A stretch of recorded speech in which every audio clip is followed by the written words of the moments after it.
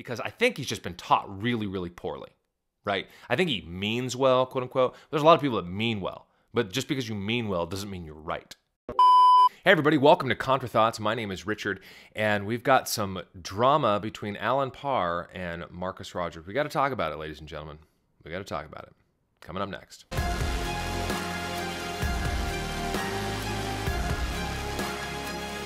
All right. Hey, so welcome, welcome.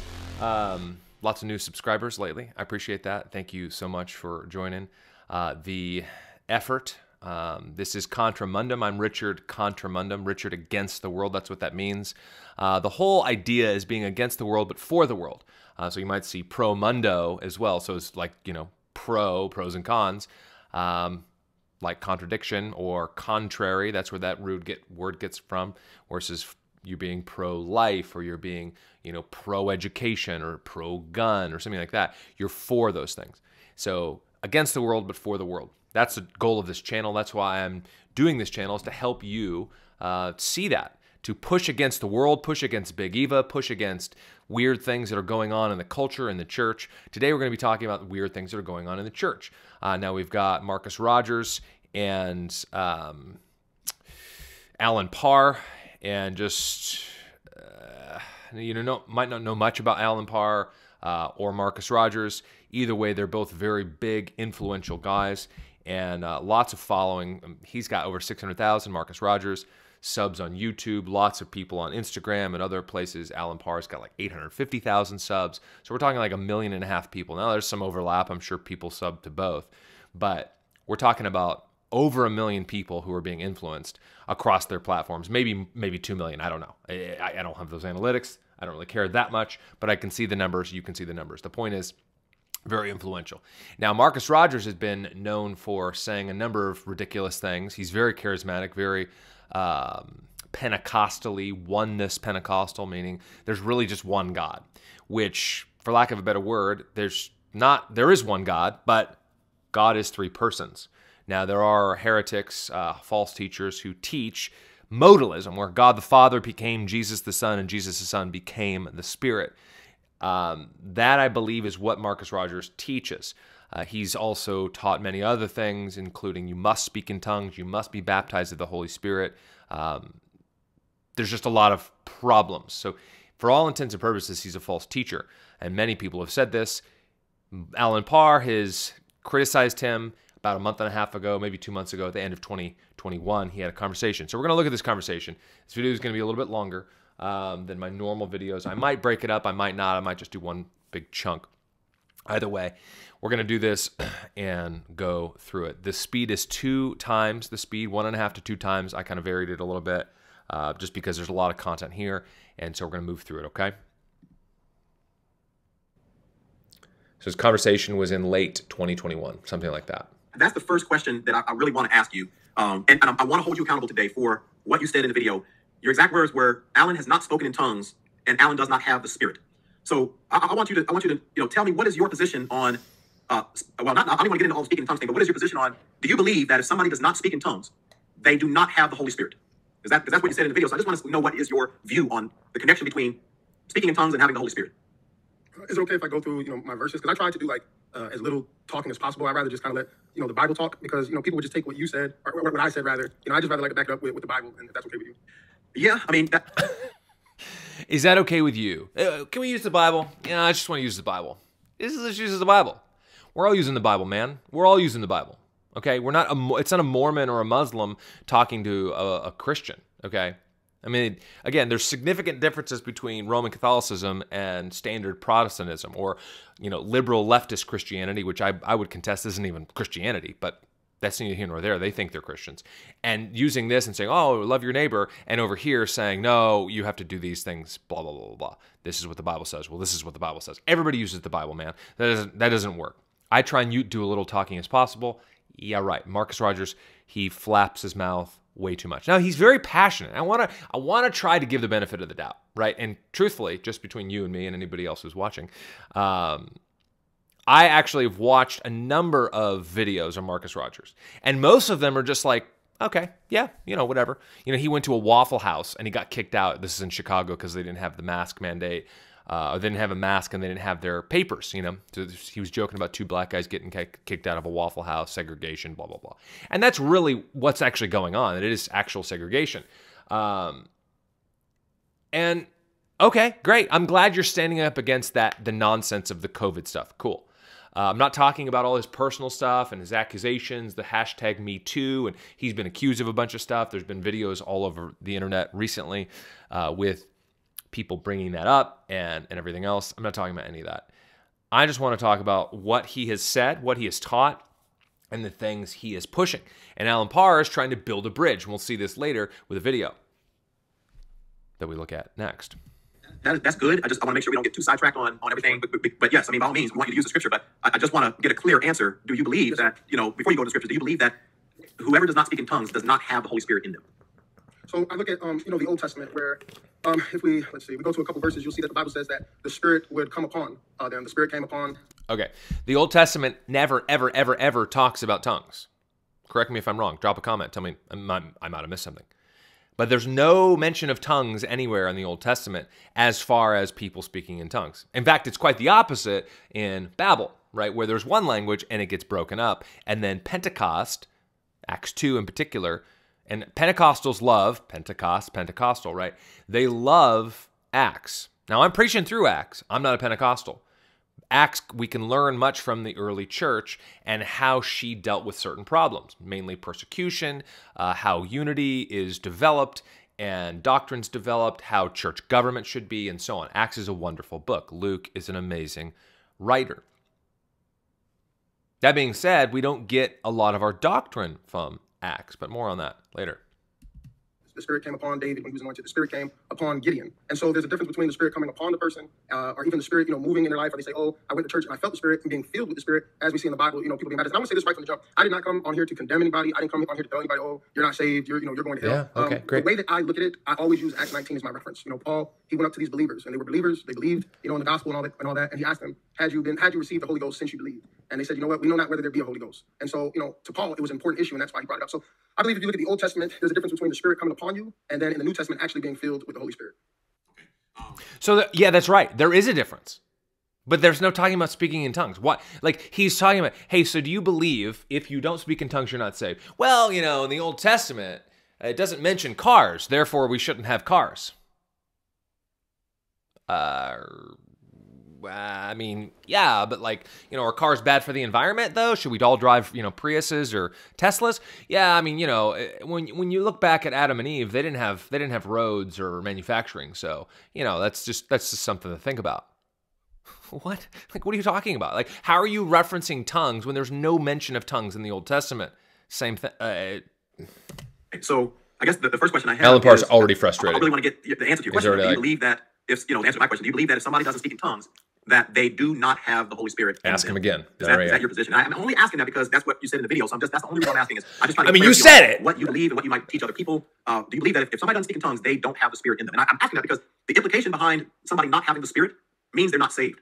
Because the Bible talks about, you know, whenever you uh, place your faith in Christ, we're all baptized in one Spirit. Um, the Bible says in 1 Corinthians 3.16, your bodies are a temple of the Holy Spirit. 1 Corinthians 6.19, uh, once again, you know, you're filled with the Holy Spirit. Uh, so to suggest that tongues is tied to possessing the Spirit and ultimately tied to someone's salvation is a pretty big statement.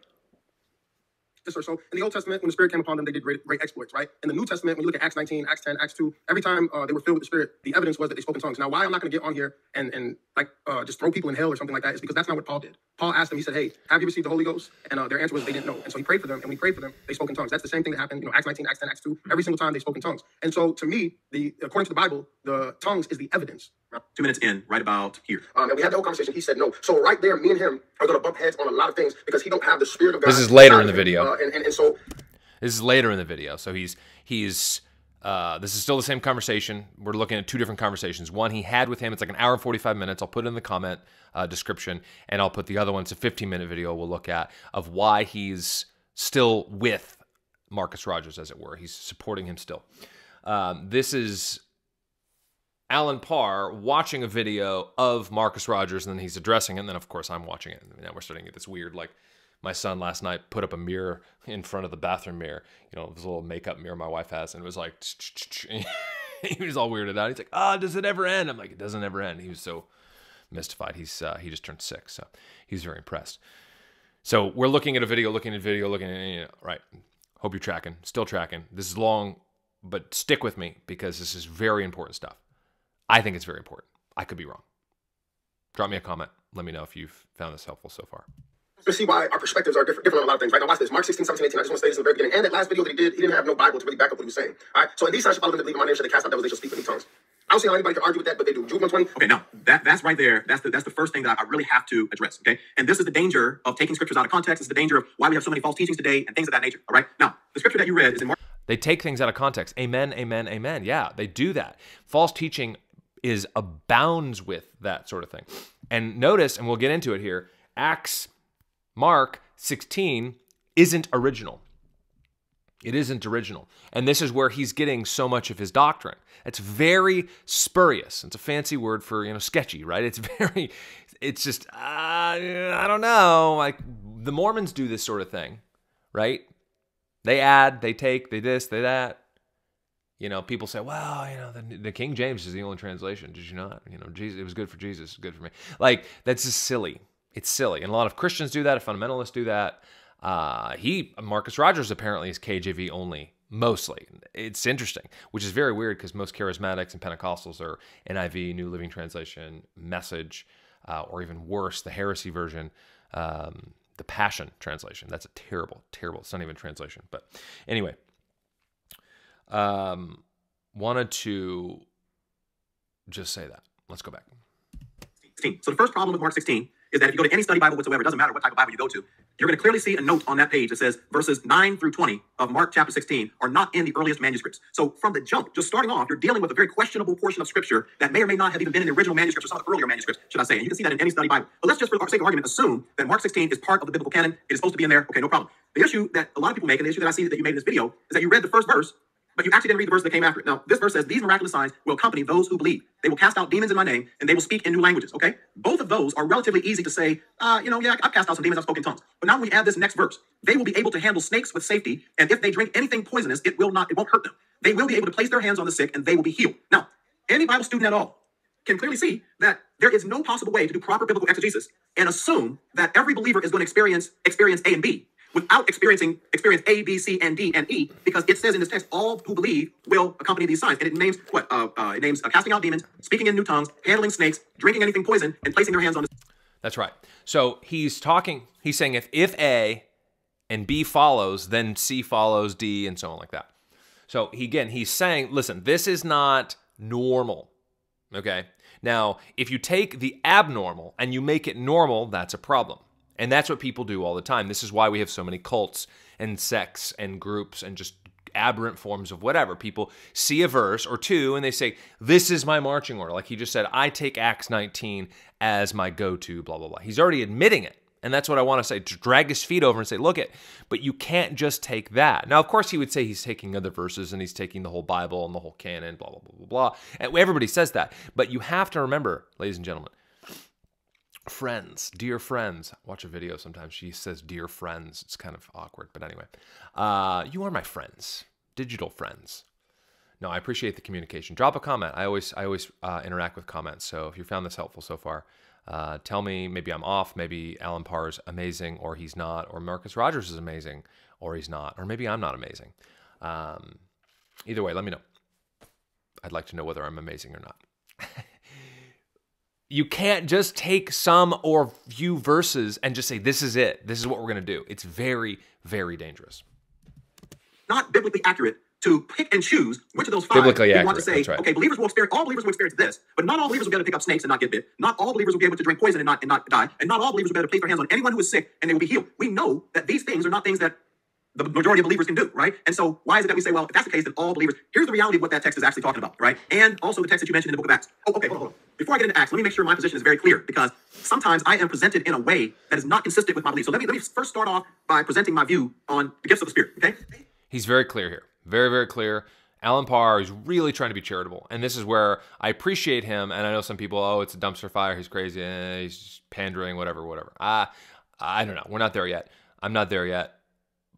This is a good video so far. At least this is an hour and 45 minutes. Go check it out if you haven't seen it already, if you want to.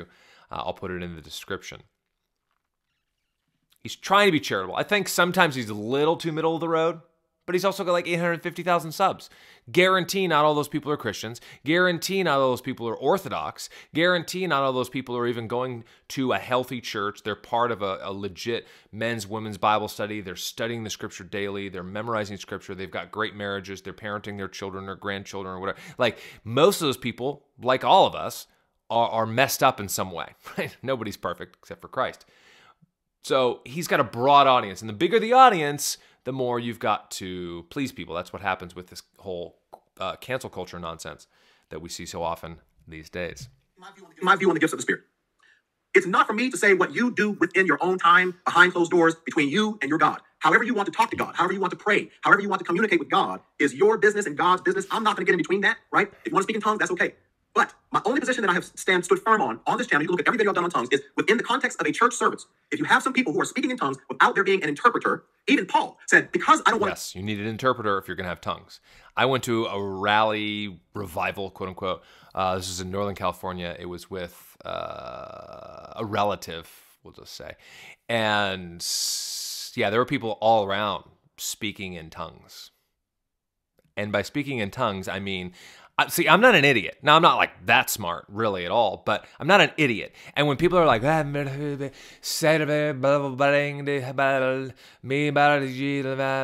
that's not a language. That's Babel. Literally Babel, which is exactly why the Tower of Babel was called the Tower of Babel. Now, they were actually speaking in different languages because the Lord went down and confounded their languages because they were disobeying. That's the difference. However, you can't really articulate that very well with a word and say, well, they're speaking, eh, it's still. Even in Acts, it says, What does this babbler wish to say? Now, Paul is speaking about things. It's an insult, right?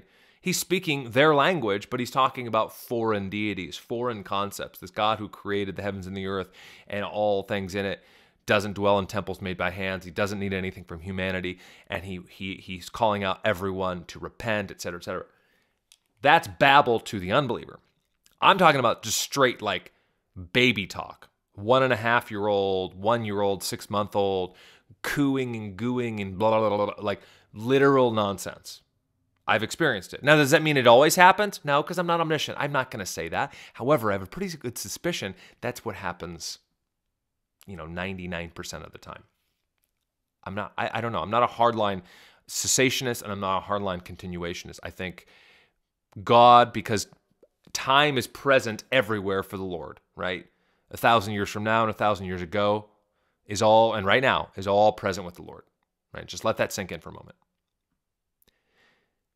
To quote, put God in a box, I think is uh, wrong. There's no scripture that says, you know, now there is 1 Corinthians 13, when the perfect comes, the, the partial will be done away with. That's not talking about, that's talking about death. That's not talking about the canon. That's not talking about tongues. That's not talking about anything. Now, I think um, Paul does talk about tongues, and he does talk about that there seems to be a level of waning and waning um, going on. And we see that he appoints certain people as prophets, um, apostles, teachers, so on and so forth, right? It's not a hard line right and that's and that's the struggle that a lot of people want to we all want to especially as western american christians we want to put everything in a box black and white black and white black and white you know night and day this is what it is yes and no green and red you know back back back back back and just stick everything in like all right whew, i've got my theology all wrapped up i understand the desire i want that too the problem is I don't believe that that's what the scripture has. Now, that doesn't mean God's chaotic. It just means that God is far bigger than us and far more immense than we can possibly imagine. Not only because he dwells everywhere with everyone all at once according to his time. But in our time, there's a linear scale from creation to the present day. That being said, most of the stuff that's tongues ain't tongues. It's babble. It's literal nonsense. It's gibberish. And that's what Marcus Rogers is saying.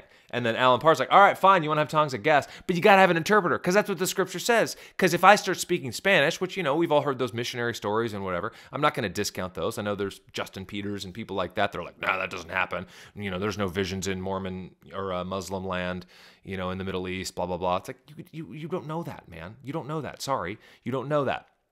But the point is, I'm not going to discount it. I'm, I'm going to be highly critical of it at best. I'm going to be uh, highly critical of it and not just accept it willy nilly. Marcus Rogers' discernment, because I think he's just been taught really, really poorly, right? I think he means well, quote unquote. There's a lot of people that mean well, but just because you mean well doesn't mean you're right. Fusion in the church. I would rather speak five intelligible or understandable words than 10,000 words in a tongue because Paul understood that when I speak in tongues, I'm going to confuse people who don't understand what I'm saying, particularly if there's no interpretation. And that is my main position, which, by the way, there's other people in the book of Acts who got saved and did not speak in tongues. All through the book of Acts, particularly, I want to say on the day of Pentecost, where over 3,000 people were added to the church, and there's Yeah. a mention of them speaking in tongues there. So we, what we're doing is we're taking isolated incidents who happened to these people, and then we're saying, because these stories happened, we are therefore going to now say that every single believer who comes after that can have the exact same experience. But if we want to go to doctrine, we've got to go to 1 Corinthians chapter 12, where Paul clearly says, do all prophesy? No. Do all cast out demons? No. Do all do signs and miracles? No. And then do all speak in tongues? No. It's impossible to read 1 Corinthians 12 and look at Paul's line of questioning and come away and say, well, wait, Paul clearly said not everybody is going to speak in tongues. Why? Because it's a spiritual gift. 1 Corinthians chapter 12, verse 7 says the, uh, the Spirit of God issues those gifts to whom he wills, right? Uh, and so I think that's one of the big fallacies that I think a lot of people make with regard to tongues. Um, if it, indeed it is a gift, then a spiritual gift is not something you can bargain and ask God for. It's something that clearly the Bible says, 1 Corinthians chapter 12, verse 11, the Spirit of God distributes these gifts as he sees fit. And that's my position on that. And very clear, right? Very, very clear. And Paul, right, he says, does all do this? No. Does all do this? No. Does all do this? No. Does all like you can't and Marcus Rogers, and this is where I would say I agree with Marcus Rogers and I agree with Alan Parr somewhat, right? Marcus Rogers saying, "Hey, I'm just to use the Bible." I agree with that. I want, you know, I just want to lift up God. I want to do this, praise. Great, I agree with that. Uh, you know, there's no contradictions in the Bible. I agree with that. And if the contradiction is, it, it lies with the interpreter. Yeah, I agree with all that. The difference is he's doing it incorrectly. he he his his interpretation of Mark 16, which isn't original uh, at all. If anything, it, add, it was added after the fact when Acts was written, and looking at Paul, who you know had the asp the snake hung on his um, came out of the fire when they shipwrecked. Right, they get on the beach and they do the fire, and the snake comes out and bites him, and he just shakes it off, and they're like, "Oh, he's gonna die." And then the people are like, "Oh, he must be a god." He's like, "He's not God." You know, like we know the story. It's Acts 25, 26, something like that. It's toward the end. I haven't preached it yet. But he's saying, oh, there's a problem with interpretation. There is no contradiction in the scripture. Amen, Marcus Rogers. Amen, man. I can agree with that. The problem is, yes, your interpretation is wrong. Not mine, not Alan Parr's, not other people who are criticizing you. You're wrong because you're saying, oh, everybody should speak in tongues. And if you haven't spoken in tongues, that means you're not a Christian, or that means you haven't had the Spirit, or that means something else. He has this old covenant dispensation and this view to say the, the Spirit came upon people, but you are not filled. Well, yes, it, he did come upon people, and you're not filled, not like we are in the new covenant. There is a distinction. All right, so there's a couple things that I want to say about that. I guess so. Uh, you know, with Mark 16, your the first thing you said was was if you have a study Bible, that verse isn't technically you know supposed to be there. I don't believe that. I also believe the second part, they shall take up serpents. If they drink any deadly thing, it shall not hurt them. I believe that this verse in 18 is pretty much saying that we're going to be protected. West Virginia, this is still a practice in some churches. It's still legal, is snake handling, right? Based on this verse. And people die based on this verse. That's stupid. And the world looks at that and says, you guys are idiots. That's dumb. And it's like, that is dumb because it's not in the scripture. Where does Jesus handle snakes? Do we, do we even handle snakes in Acts? Your whole thing? Do we see this anywhere else in any of the other gospels, any of the epistles, anything anywhere? No. In fact, snakes bite people and poison people in, oh, I don't know, where? The Old Testament, right? And they're a sign of judgment. They're a sign of people under condemnation. But what does Jesus say? Just as the snake was lifted up in the wilderness, God tells, tells Moses to make the bronze snake, to lift it up, and the people will look to the snake and they will be healed. Just as the snake was lifted up in the wilderness, so shall the Son of Man be lifted up. Look to Christ. If you've not looked to Christ, turn to Christ. Look to him. Trust Jesus. He's better and bigger than your sin. He is. And don't say you haven't sinned. You've sinned. You've lied, you've cheated, you've stolen, you've committed adultery, you've had other gods, you've had other idols. You've done it. Absolutely. Jesus calls you to turn from your wickedness and embrace him. That's what he calls you to do. Now, I don't I don't know Marcus Rogers' heart or Alan Parr. I really don't. We can really just look at the fruit. We can really just look and understand um, that these guys are doing these things. Right now, no, we're not perfect, but the trouble is when people do stumble and fall, and especially if the Spirit convicts that person, him or her, and other people come along and say, "Hey, you know what? Ah, man, that wasn't right." you missed up there. The scripture actually says this. You really shouldn't treat your wife like that. You really should, you know, do this with your children. You, you really shouldn't um, talk that way. That's, you know, that's too, that's not glorifying. That's honoring to the Lord, etc. That's a problem, right? But if we say these other things and they push back, that person who's being corrected pushes back and says, no, no, I'm right. We see this all the time with Big Eva, right? Tim Keller, Russell Moore, uh, David Platt. A lot of these people, they go to defense. When they're wrong, they're, you know, race baiting, they're adding to the gospel, they're changing scripture, twisting scripture, doing all these things. I've got a bunch of videos if you want to check out some of these up here. Um, that's what happens. But instead of being corrected, they're saying, ah, no, no, no, no, no, no, no. You don't know what you're talking about. I am right. You're wrong. Or they just dig in their heels and they push back further. Not that you should go uh, grab a snake, you know, unless God is, you know, directing you or telling you to do certain things. You know what I'm saying? Like that's Peter stepping off the boat. People would say, oh, Peter, you know, you, you shouldn't do that, right? So if you go do something out of your own carnality or, you know, feelings or emotions, then yeah, you're going to get yourself messed up. But I believe that that verse is simply saying, uh, if you believe nothing's going to hurt you, nothing's going to harm you, they shall lay hands on the sick, shall recover. So even right there, this ties into, I believe, what we're saying in Corinthians, they shall lay hands on the sick and they shall recover. We read about the gift of faith, the gift of healings, the, the gift of knowledge. And what a lot of people don't understand, there's a difference between being baptized in the Holy Ghost, evidence speaking in tongues, which we see in Acts 2, Acts 10, Acts 19, and um, as you're talking about in church speaking in tongues, needing there to be an interpreter. What do you believe? Jude The, if, you, if you don't mind me asking, what do you believe the gift of tongues? is? I'm going to cut you off, but I want to make sure we're clear. When you say the gift Yeah, of I'm, tongues, I'm going to go right into that. okay. So Jude 1 Forgive me for- I says, didn't mean to cut you off. Sorry, No, brother. you're okay, brother. It's, it's all good. Jude, Jude 120 says, But ye beloved, building up yourself on your most holy faith, praying in the Holy Ghost. Right? So we look at Mark 16, it says believers are going to uh, speak in tongues. Then you look at Jude 120, and it's a com- He corrects him. Jude. Jude's not talking about tongues. Praying in the Holy Ghost. Praying in praying without ceasing. Praying being filled with the Spirit, right? We can call and say, Lord, fill me with your Spirit. Please, please dwell with us in your Spirit. Why? Because we can also quench the Spirit. And I know some people get all weirded out with that, certain theological traditions, but you can resist the Holy Spirit. Jesus talks about that. We see this in Acts as well. You know, we, you're resisting the Holy Spirit. And, that is, and this is where I'm going back and forth the night and day, sort of everything's in a box. Certain people, ah, I just got to put everything in a box. If you mean resist, resist the Holy Spirit, that means you're more powerful than God. Is that what that means, though? No. Is anyone saying that? You know, the most, you know, free will Arminian person? No, they're not saying that. Nobody's saying I'm more powerful than God. No Christian, anyway. But a lot of, you know, Reform, Calvinist, hardline, whatever, determinists and things will say, oh, you're not powerful. And they get all upset. And it's like, no, that's not what they're saying. But at the same time, what does it say? Well, the scripture is saying, don't resist, don't quench, don't, don't do these things. Now, it's not always talking about salvation right? It's talking about this this prompting this leading this stuff that you see the conviction right? We still sin and all sin is just unbelief right? We're not faithfully walking. We're not believing the lord's promises for us in our life whether we lust or whether we cheat or whether we lie. We're believing something else not the lord when we sin right? And remember first john we have an advocate with the father jesus christ the righteous. When we sin i pray that you don't sin but when we do when you do sin okay all right. So, yes, we have an advocate with the Father, Jesus Christ the righteous. We have the Lord.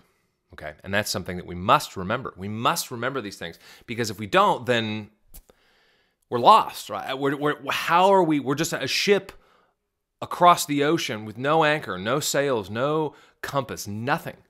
And this is what we see with most people. This is why most people have massive problems in their lives, even Christians, because we're not anchored in Christ. We're not seeing Him is our sure and steadfast anchor, the anchor of our soul, that despite what's going on outside, whatever's going on, even inside, mentally, physically, sexually, urges, desires, all that stuff, if you're anchored in Christ, you are a new creation. The old things have died, the old things have passed away, and behold, all things, all things become new. Back to the video to uh, build up your most holy faith, pray in the Holy Ghost. What does that mean? Now, what does it mean to pray in the Holy Ghost? When we look at Romans 8, it says, likewise, the Spirit also helpeth our infirmities, for we know not that we should, what we should pray for as we ought, but the Spirit is making intercession for us with groanings which cannot be uttered. Um, and then, you know, you read it because it says with groanings that are too deep for words. That's like the modern English version. I like to stick with the King James version, but it pretty much is saying with groanings which cannot be uttered. I don't know what to pray for myself, uh, pray for my own. So the Spirit is making intercession on my behalf. Believers of all kinds. So here's my question. If, if Paul says, not all believers will speak in tongues, if Paul says that, how then can another biblical writer who's also filled with the same Holy Spirit make an order or a command that every believer speak in tongues when Paul clearly says not everybody's going to speak in tongues or pray in tongues? How can you command a believer to do something that they've not been gifted to do? That doesn't make any logical sense. If both biblical writers are under the same influence, inspired by the Holy Spirit, there cannot be a command. Now, there is a command to be filled with the Spirit, but once again, being filled with the Spirit doesn't mean speaking in tongues. We know what being filled with the Spirit is. We can look at that in Ephesians chapter 5, verse 18. We'll get to that in a little while. But how can a biblical writer make a command, pray in tongues, and then another biblical writer say, oh, but not every believer is going to have the gift of tongues? Exactly. So that's my whole point. The Bible cannot contradict itself. So if there's a contradiction, then it has to be with that individual's interpretation. Did you get that? The Bible cannot contradict itself. Amen, Marcus Rogers. Yeah, I can sing that, tweet that, I can put that on Gab, I can do everything. By the way, if you want to watch me on Gab or follow me on Gab, Genesis 3:17. Uh, I'm not on Twitter, although I might go back to Twitter. I don't know. It's been several years. Probably not though. I'm also on Facebook, but that's just my wife and I's page. So if you really want to get a hold of me, besides here is Gab. I'm on Parler, I guess, and I've signed up for Gettr, but I feel like that's just I feel like it's kind of like a hack website. But anyway, uh, the Bible cannot contradict itself. Yes, amen, Marcus Rogers, right? And if there is a contradiction, it's with the person doing it, right? Interpreter. Yeah, amen. But you're the one who's interpreting it wrong, not me. right? Or, or, or people who are interpreting in the sense of the, Paul says in command, and this is where the difference is. Paul says in a command, this doesn't happen for everybody. Okay? So that's that's that's a statement. It's not a command, it's a statement. But you take that as doctrine to build on that. Whereas talking about somebody being rose risen from the dead, rise from the dead, or you know a lame man walking, paraplegic guy begging alms, right? Look, getting getting coins in the temple, and we see this in Acts three. Peter and John are there; they heal the man right away in the power of Jesus' name.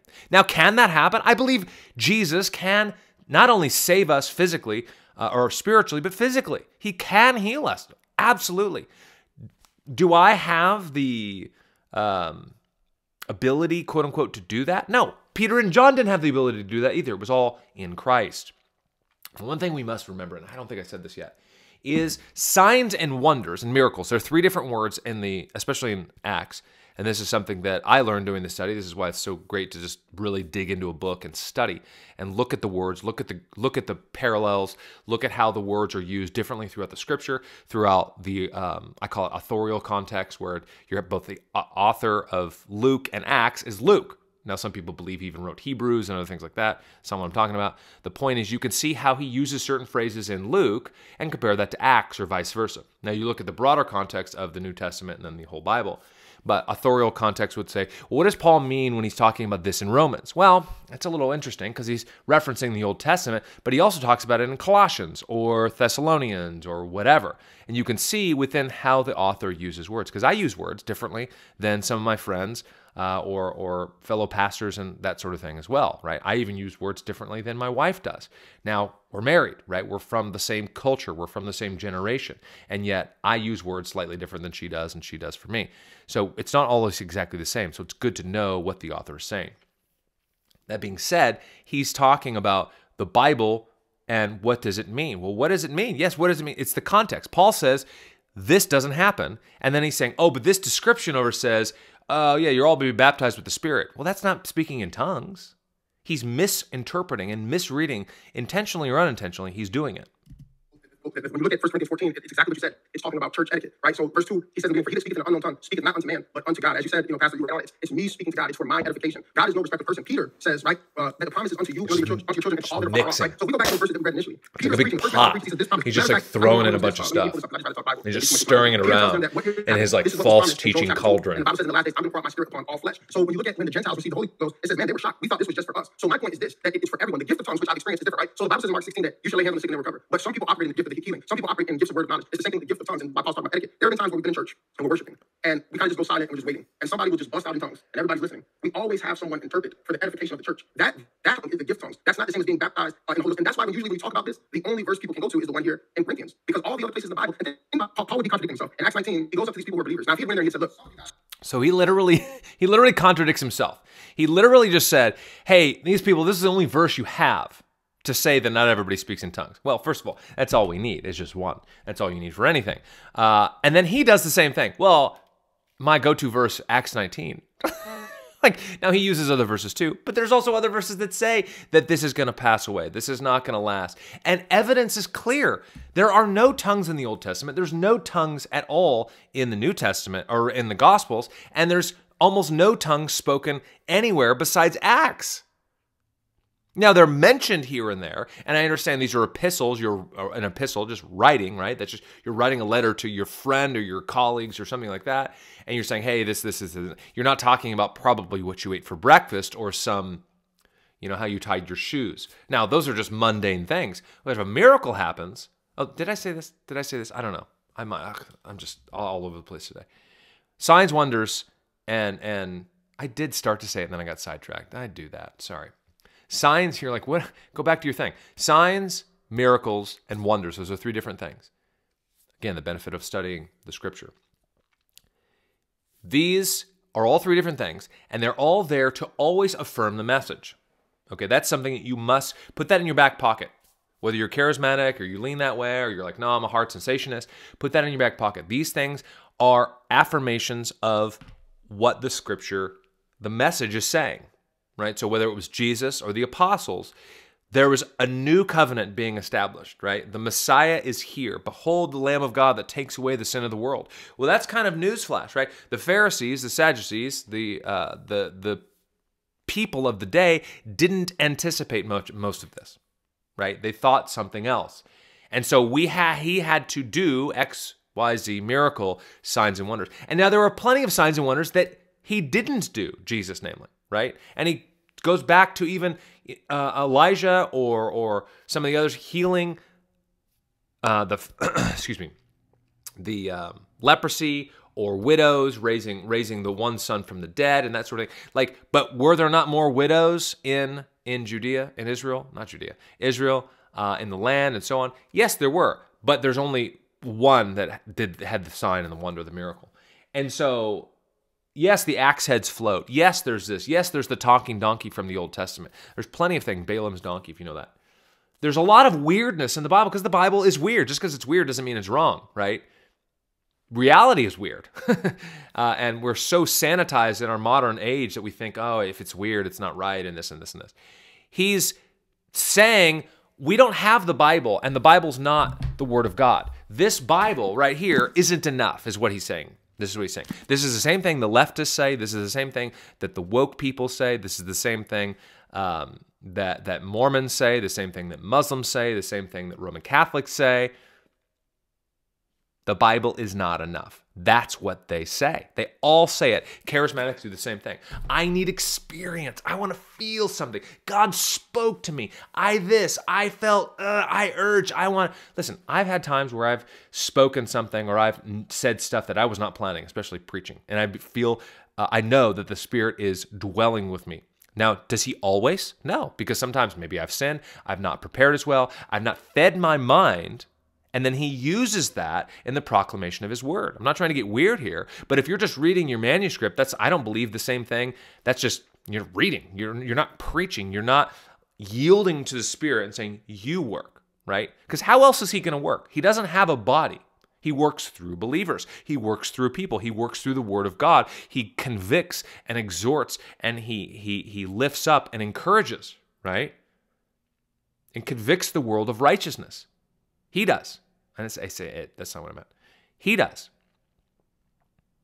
So the point is, the Bible is sufficient. And that's really what Marcus Rogers is saying. It's not sufficient. I need this. I need, we were worshiping and all of a sudden we went quiet. Somebody was just like, labba And we can watch these videos. You've seen these nonsensical videos on online, right? You've seen this. They're not, they're not, it's not tongues, man. You're just literally babbling. And guess what? There's also no interpreter. I've never seen one of these people. Now, I've only watched, you know, probably a few dozen videos over the years, but I've never seen anyone go, whether it's Kenneth Copeland or any of these other clowns, Todd Bentley, Todd White, all these guys. They tell these stories, right? And they don't they don't actually have any evidence for it. Now, I just told a story that I don't have any evidence for, but I hope you get what I mean. You can go back and look at them. I mean, it's not I'm not making stuff up and there's no interpreter. They're not there actually interpreting anything. And the best part is, it's not needed. We don't need it. We don't need it. We just don't. Okay? You don't need it. Because why do you need it? Building up, edification. What about the word? What about praying? What about what about talking with people? Is that is that not good enough? That's what he's saying. The Bible's not good enough. The cessationists have a good argument for, you know, the partial will be done away with. Again, I don't believe that's talking about the, the canon of Scripture. Um, I believe that's talking about death, uh, where because we see in this glass dimly, but then we'll see him face to face. We don't see Jesus face to face with the closing of the canon. So sorry, guys, but again, it's a it's a good start to an argument because I understand your sentiment because you don't want people running around like Marcus Rogers doing this Looney Tune stuff speaking tongues. You're still, you're still using a really isolated incident, and you're not, you're not right about other incidents. That's my point. But the point is the Bible can't contradict itself. So Paul did that in Acts 19. And he goes in there and everybody gets the Holy Ghost. Everybody speaking in tongues. Acts 10, Acts 2, all of them are receiving it. And no place in time are they saying, hey, only some of you have it. Peter says the promise is on you and your children. Then Joel chapter 2 says that well, I'm going to pour out my spirit on all flesh. So Jesus, what, Jesus, what you see happening All right, this is the second video. So this is yesterday. Man, Marcus Rogers is slippery. He's a slippery cat, as they say, a slippery cat, like an eel or a catfish. Catfish are gross looking. You ever seen a catfish up close? I do not agree with the types of videos that he puts out with regards to saying God told me this in a dream, God told me that, um, pulling snakes out of people's backs and things like that. I don't agree with his position on the baptism of the Holy Spirit and tongues being the evidence of speaking in tongues. I don't agree with his position on the Trinity, and I'm sure there are other points of theology. With. Okay. So this is the second video. This just dropped. So the first video was like six weeks ago, seven weeks ago, something like that. End of 2021. This is another video where he hasn't said much at all. And a lot of people have roasted him, and he brought this up. And I've I've snipped out multiple clips. First of all, I'm not going to watch the whole video for you know their own sake and their own creative license and whatever. You can go watch the whole thing. That's fine. Alan Parr is trying to be charitable. I think he's being too charitable at this point. This juncture. Now, again, I have some friends call it a dumpster fire. Eh, I mean, maybe that's a little harsh. Maybe they're just trying to be sensational. But it's not good. It's not good. Because even right there, he says, I don't agree with this and that, you know, his view of the Trinity, blah, blah, blah. I'm sorry, what? Did you just say you don't agree with his view of the Trinity? Okay. And then this whole video talks about how I'm still going to be in Marcus Rogers' life. I'm still going to be, I'm still going to build a bridge. And this is whole thing. And this is this lingo, be the bridge. This is the woke ideology from, I forget her name, um, uh, Latasha Morrison, I think is the author of that be the bridge. And this is telling, you know, light skinned people to shut up and listen to dark skinned people, more melanin, and less melanin. Like, it's just stupid. Be the bridge, right? Be the bridge. Building bridges is not walls. That's a total leftist paradigm. That's so, it's just, just liberal talking points. Okay. That doesn't even mean anything. There's no part in scripture that says be a bridge or be a wall. There just isn't, right? And look at reality. We have bridges and walls, ladies and gentlemen. They're both essential. Okay? I live in Kentucky. We have a river, the Ohio River. It's ugly. It's gross. You don't want to swim across it. You don't want to take a little boat. You want a bridge. I'm thankful. I can get over to Indiana very easily or Ohio. Walls are great, including your walls in your church building, your office, your work, your house. You might even have a wall or a fence around your property for your dogs, for your kids, for some creep not walking in. Walls are also helpful. Barriers also helpful. So to be like, well, we got to do one or the other. No, we don't. We don't have to do either, and we don't have to do, we can do both. Okay? So let's just, again, keep that in mind when we're doing these certain things. Not just take these talking points and think, well, I'm, just, I'm to build a bridge. Just you guys just need to deal with it. And again, I'm thankful for Parr. He's been around a long time. Uh, I'm not calling him a heretic or anything like that. I think he's greatly mistaken here to continue to associate with Marcus Rogers. I think he should just distance himself and be done.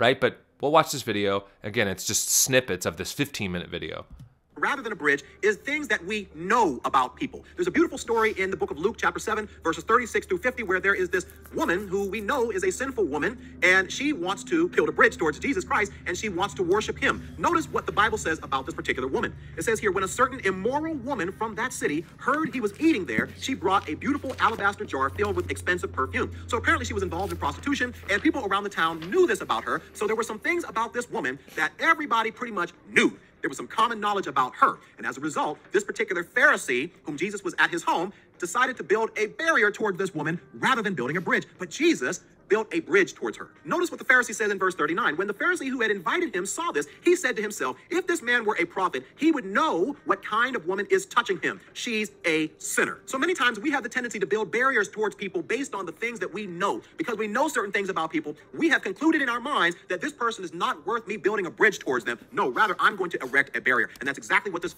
Okay. So, Pharisee, Jesus, this isn't Mary Magdalene, by the way. A lot of people think that. It's not. Uh, there's actually even questionable evidence whether Mary Magdalene was even a prostitute at all, but that's another that's another video. 737. So this is a whole scenario. So he brings up a verse, and I understand for the sake of time and brevity, he's trying to do that. Now I'm taking a long time here, so we're going to read it at least some of it. So he says, 737, Behold, a woman of the city was a sinner. Sinner just means an outcast because everybody's a sinner. Um, that was just kind of like these people that were outside of Israel, outside the common, you know, maybe people, we might call them like uh, riffraff or, or just, I don't know, whatever word you want to use for, for people that are outside your kind of scope. Uh, Pharisee and invited him saw this. If this man was a prophet, meaning questioning Jesus' credentials, he would know this woman is a sinner, blah, blah, blah, blah. And then he goes down, again, for the sake of time. He castigates this Pharisee, right? Jesus does. Do you see this woman? I entered your house. You gave me no water for my feet, right? Dirty feet, muddy ground, dusty, right? Everything else. So you got to wash your feet before you, before you come in. You gave me no kiss. But from the time I came, she has not ceased to kiss my feet. You anoint did not my anoint my head with oil, but she anointed my feet with ointment. Therefore, her sins, which are many, are forgiven. For she loved much, but she is forgiven little, loves little. But he who forgives little loves little. And he said to her, Your sins are forgiven. Okay. Now, this reminds me, this is in the same passage, of the woman uh, who's caught in adultery, right? And that's the same thing. Jesus hanging out with sinners, hanging out with women. And he tells her, Go and sin no more. Now, the implication here is the same. Your sins are forgiven. Not so that you can go and continue to sin. The other thing is, too, this woman is coming to Christ. Marcus Rogers isn't coming to uh, Alan Parr. He's also claiming to be, be a believer. She's not. The other thing is, he's in. I, I don't know. There's just there's just so much. I, we got. Let's just move on. This isn't a good analogy. This isn't a good scripture. Alan Parr, sorry. Is not only the things that we know, but the things that we see about an individual. Now, there's a beautiful story in 1 Samuel chapter 16, verses 1 through 13, where Samuel is supposed to go and anoint the next king of Israel, but all he knows is that it's one of Jesse's sons. And so the very first oldest son comes out of the house as Samuel goes to Jesse's house, and notice that Samuel says this. When they arrived, Samuel took one look at Eliab and thought, surely this is the Lord's anointed. He says, hey, based on what I see, just looking out the outward, this is somebody that I would like to build a bridge towards, right? But notice what it says. God says, but the Lord said to Samuel, don't judge by his appearance or height, for I have rejected him. The Lord doesn't see things the way you see them. People judge by outward appearance, but the Lord looks at the heart. So later on, you know the story. David comes out and Samuel anoints. Right. The Lord looks at the heart. We, again, I don't know your heart, Alan. I don't know your heart, Marcus, ultimately. But what we can do is we're called to be Bereans. We're called to be discerning. We're called to sharpen each other. As iron sharpens iron, so one man sharpens another. The point here, and he's going to say it, I don't know if I'll make for time or not, but he's going to say it, oh, you're shaming people, this and this and this. I'm not shaming anybody. Now, some people might. I don't know. I'm not. I'm wanting you to be discerning. And I'm helping my listeners, y'all watching, because Alan Parr is probably not going to watch this, or Marcus Rogers, but maybe, and maybe somebody who supports them thinks that this is fine.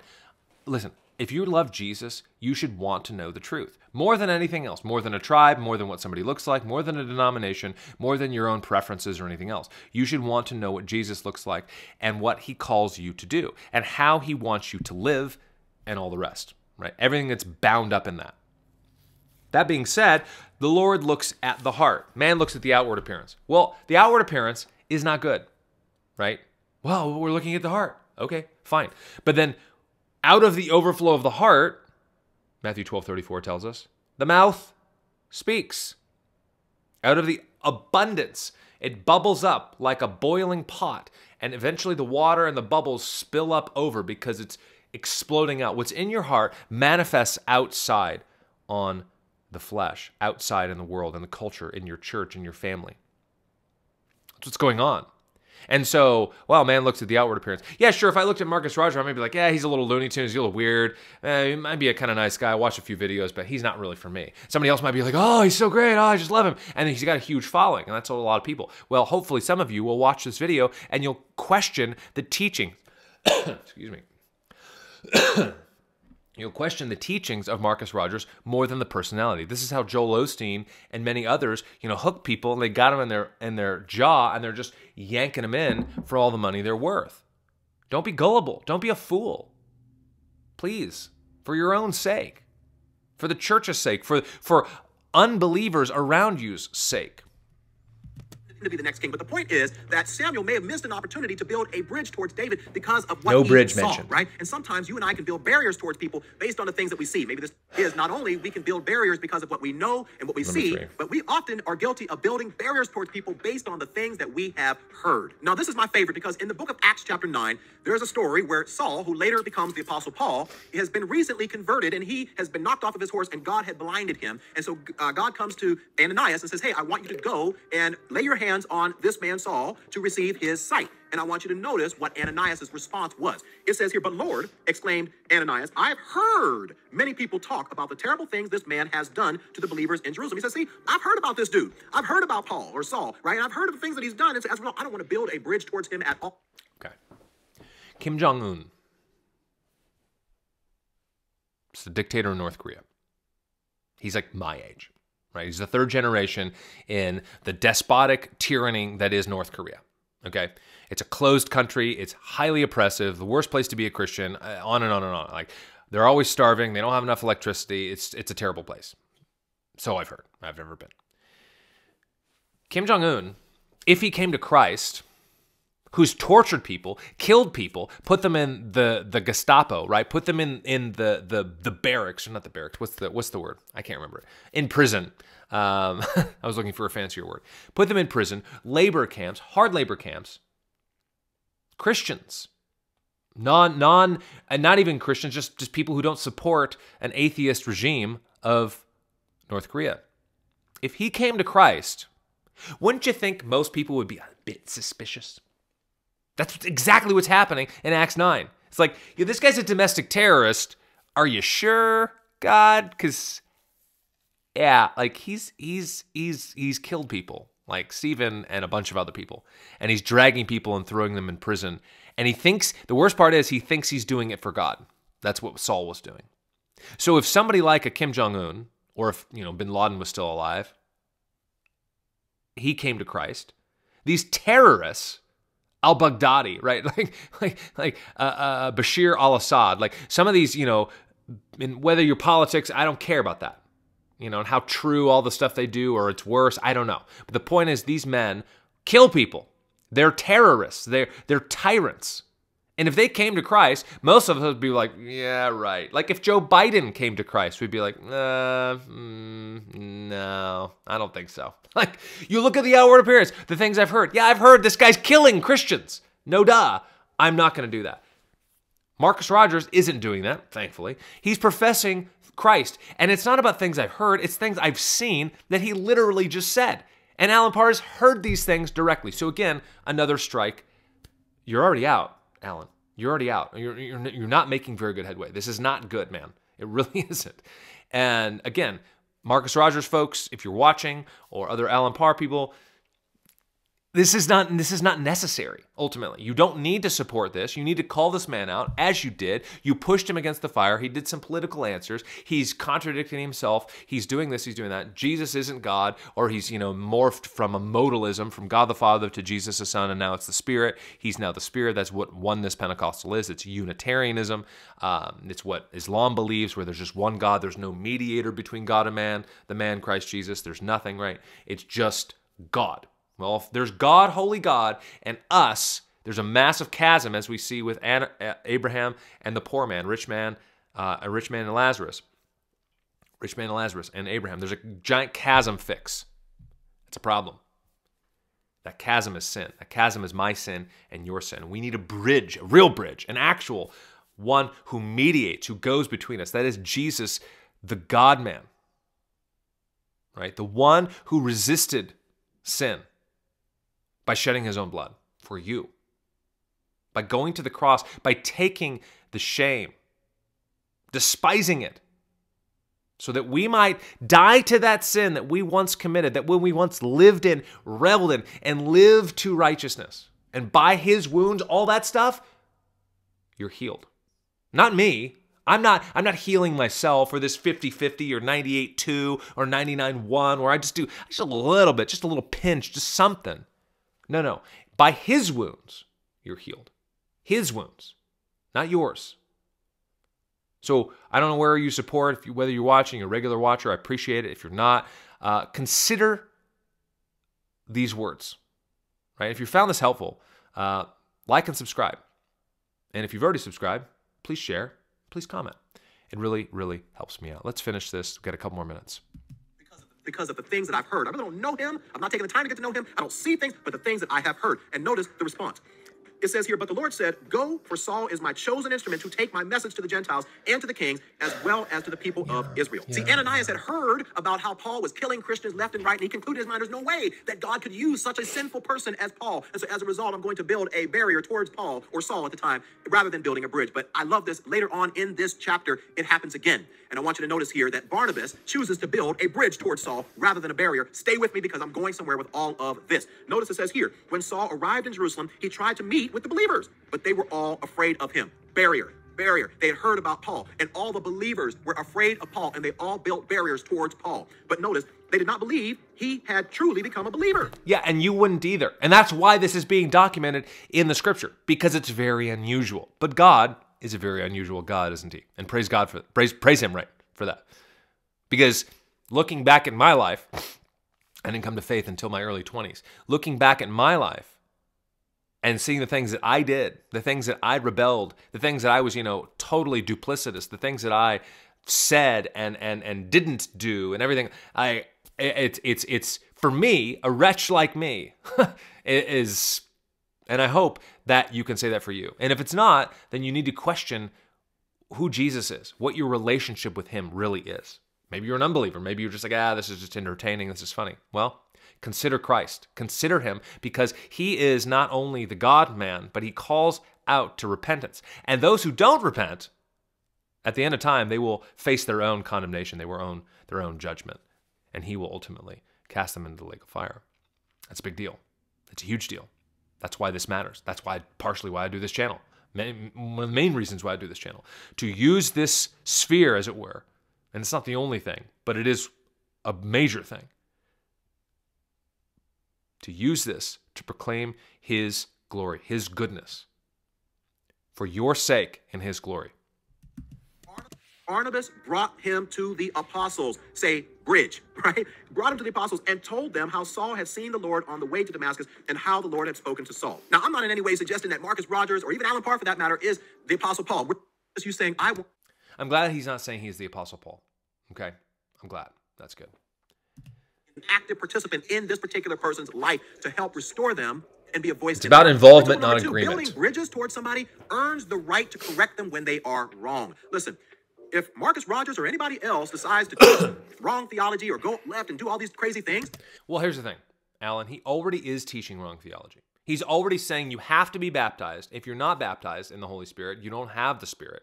If you're not speaking in tongues, you don't have the Spirit. That's an evidence of that. You have to do these things, right? You have to be baptized, not just in the Spirit, but you have to be physically baptized. No, you don't. You don't. You're making it a work. Were people baptized in the Old Testament? No. You have to believe God, and it is counted to you as righteousness.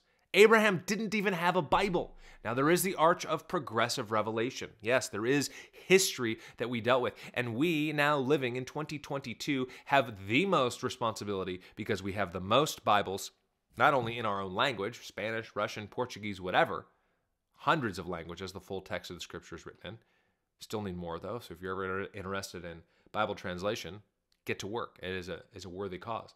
There's still many languages that don't have the scripture. But Abraham believed God. He didn't get baptized. He wasn't circumcised. He didn't keep the law. He didn't do anything. Why? Because it's not of works, so that no one will brag about it. Nobody's going to boast. Nobody's going to say, well, I mean, I kept the law. You didn't. You just got it by grace. That's all the better, right? It reminds me so often, and I use this fairly frequently preaching the Pharisee and the tax collector, right?